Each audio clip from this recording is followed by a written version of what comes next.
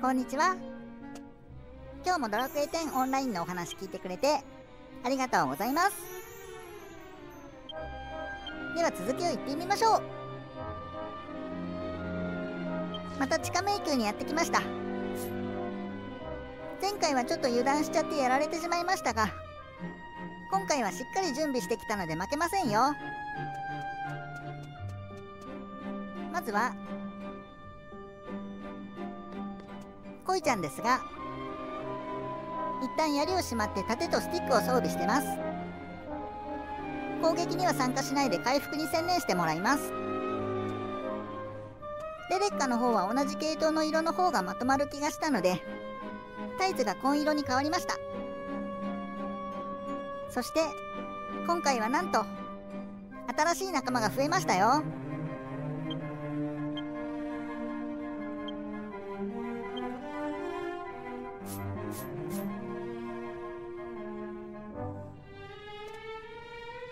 前回雪原に行ったのはこのマシンをスカウトするためだったんです。強そうでかっこいいですね。レベルをみんなと同じくらいまで上げたんですが攻撃力も守備力も一番強くなっちゃいました。すごいポテンシャルですよ。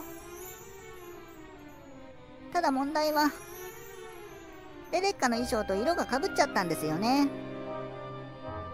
また近いうちにレレッカの服を買いに行くしかありませんね。まあそんなわけなのでみんなで悪い魔物をやっつけましょう。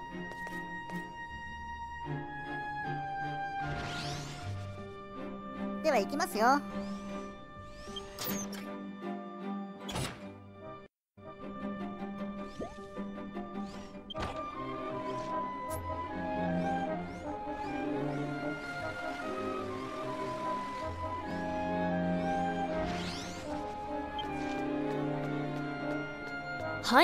ました。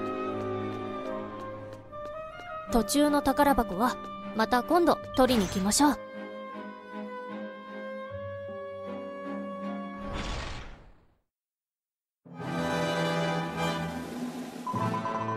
インチキ占い師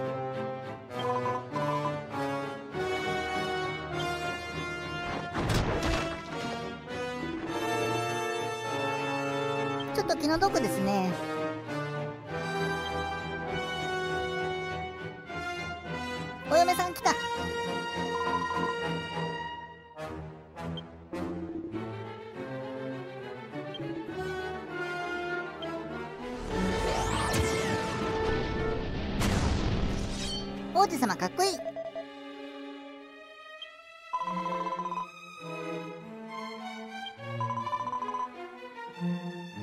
弱いなら勝てそうですけどね。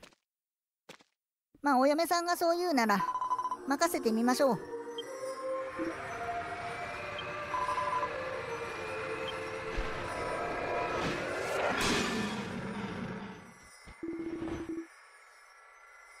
ダメですね。お嫁パワーが通用しない。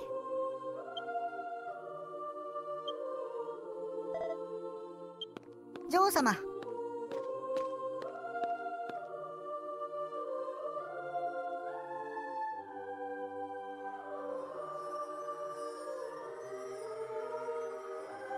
嫁姑のユニゾンパワーです。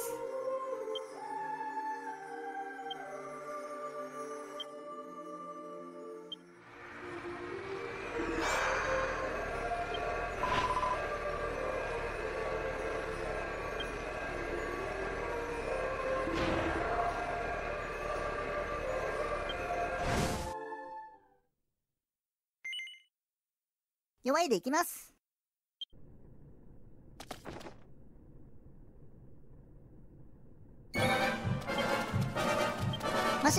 に強化します。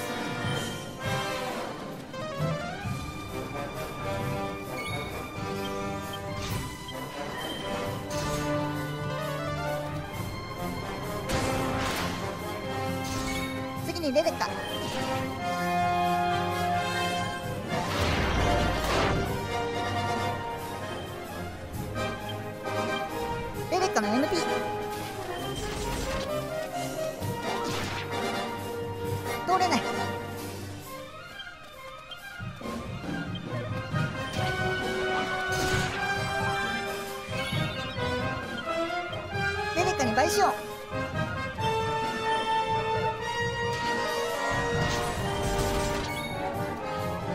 こっち来た。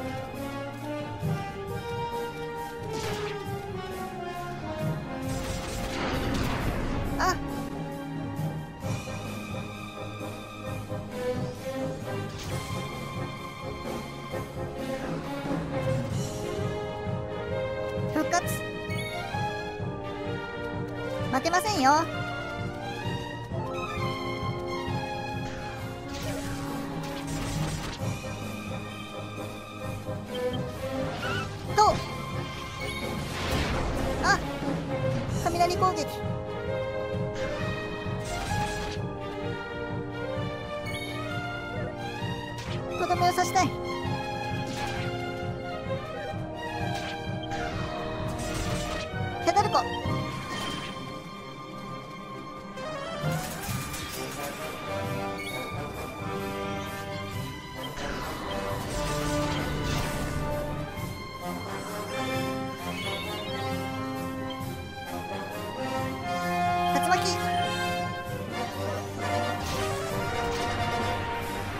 ダメです。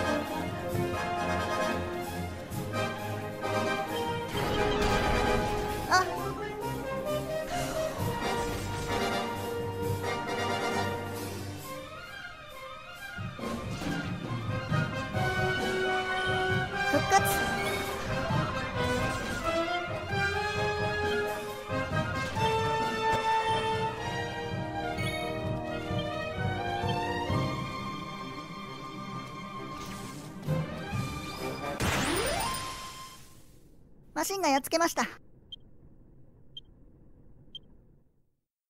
弱いにしたのに強かったですね。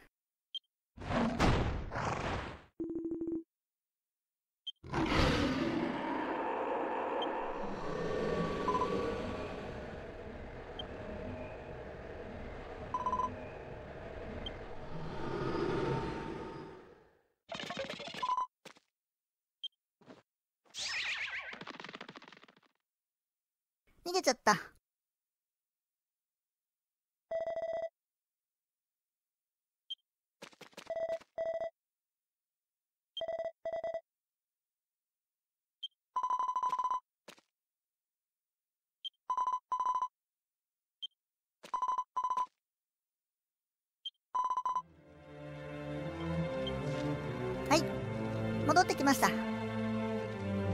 ではご褒美もらいましょう。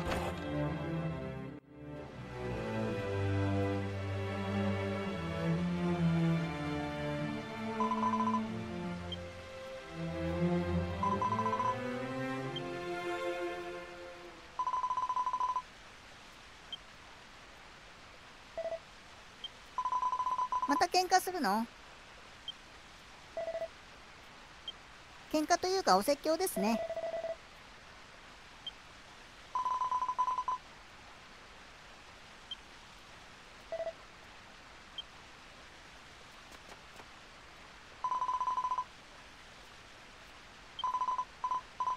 嫁出てきた。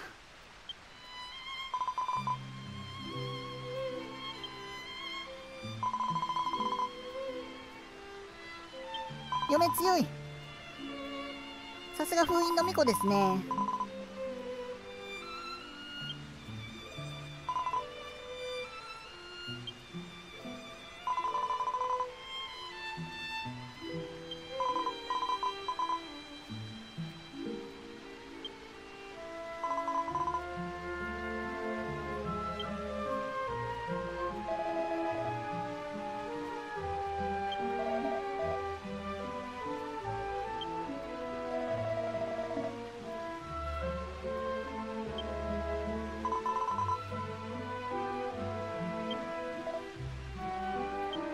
らくまとまったみたいですね。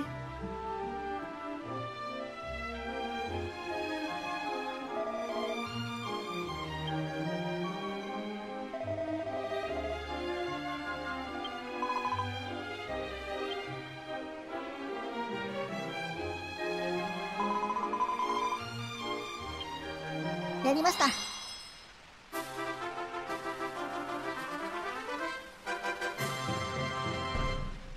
今回は大変でしたよ。とうとう6個目をゲットできました。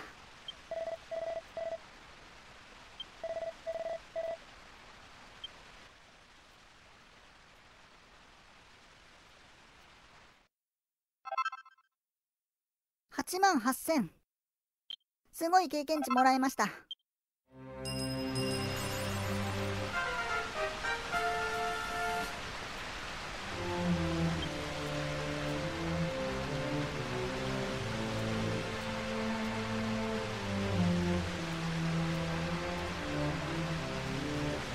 旦那様もかっこよかったですよ。ではこの国も一件落着ということで。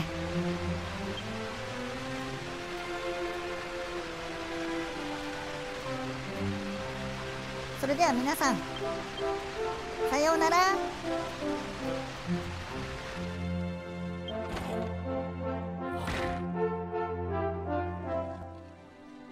さて今回は仲間モンスターの活躍もあってボスに勝つことができましたね。でもコイちゃんとレレッカの時はマシンは出せないんですよね。なので2人にもモンスターの仲間が欲しいので次はコイちゃんの魔物をスカウトしに行きましょう。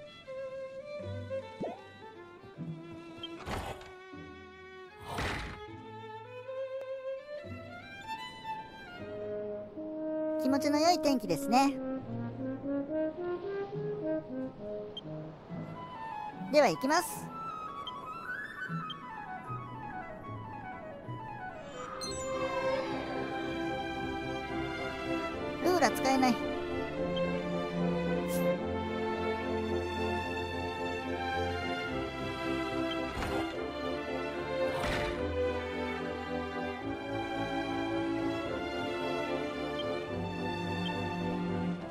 ワープもできない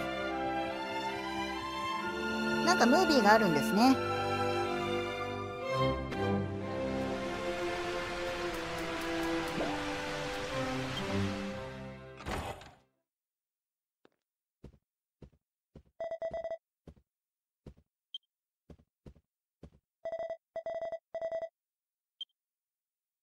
女王様の歌の時間ですね。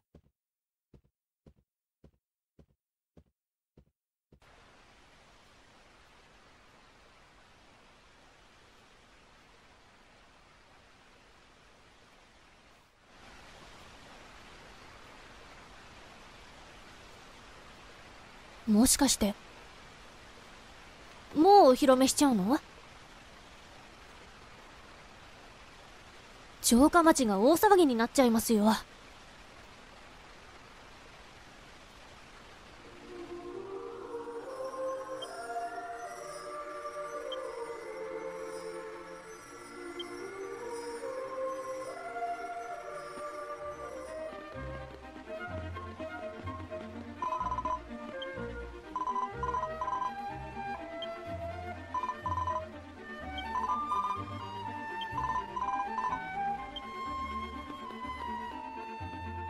一応次は王子が引き継ぐ予定って聞いてるんですけど。でもそうですね。お嫁さんが強すぎて結局また女王かもしれませんね。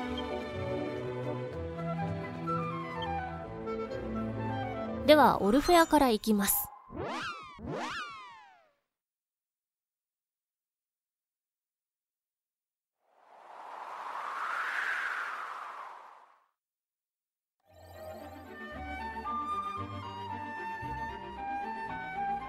オルフェアの西口です。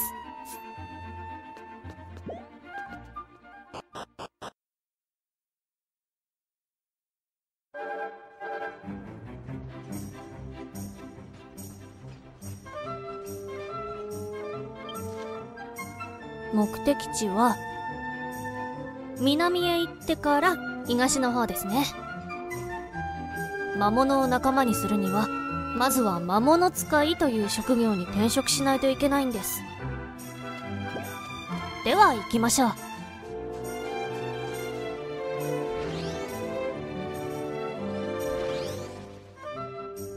ちょっと途中なんですが確かこの辺で受けられるクエストが一つあるんですよね。ついでだから受けるだけ受けちゃいましょう。ここですね。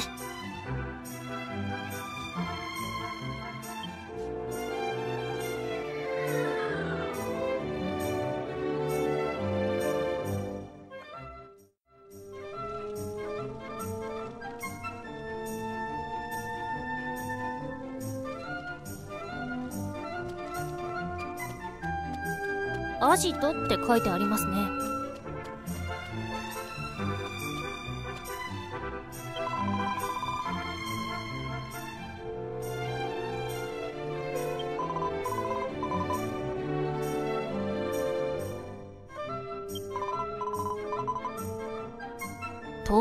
ですね。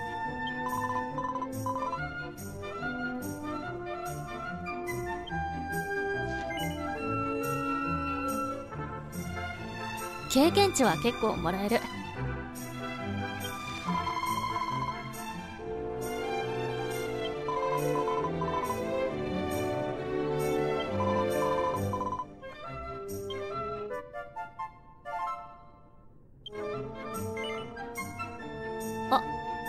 すぐに行けるんですね。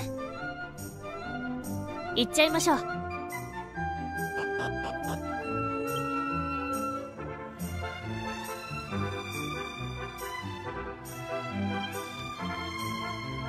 反対側に来ちゃいました。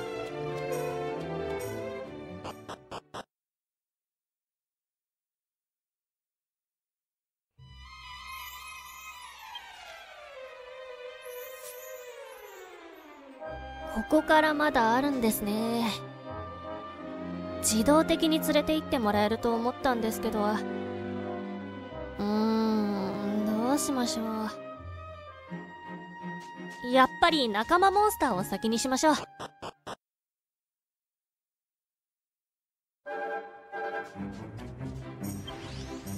遠くなっちゃいましたね。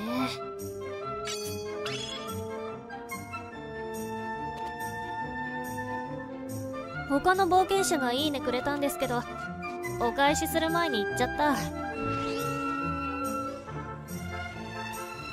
さあ遠いけど頑張っていきましょう。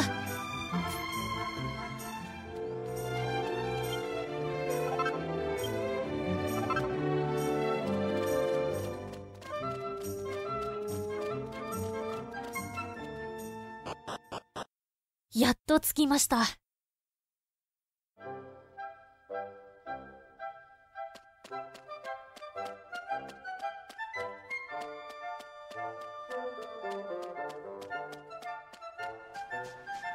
ゴーレムの色違い。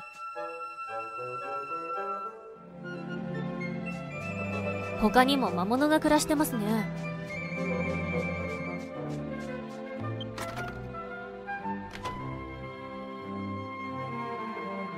こんにちは。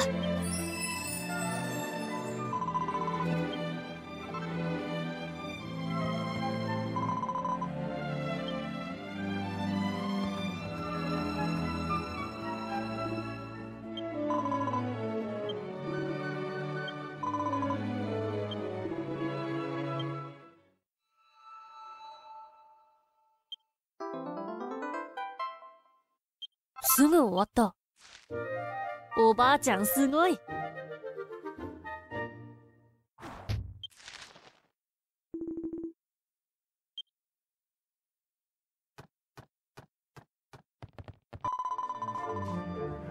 次はガタラです。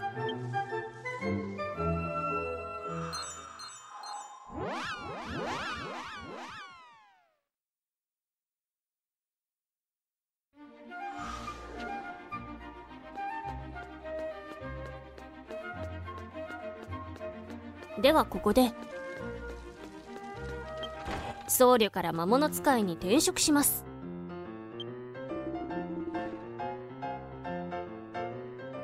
ちょっと待って。初めて転職するときは服を脱がされちゃうんですよね。ちょっと恥ずかしいので転職のシーンだけはカットさせてもらいますね。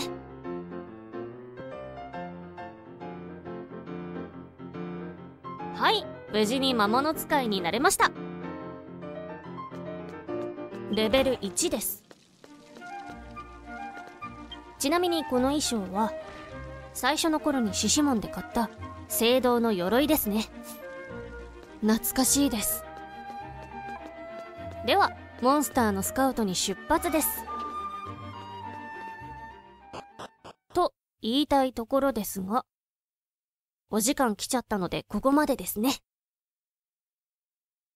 今日も最後まで見てくださりありがとうございました。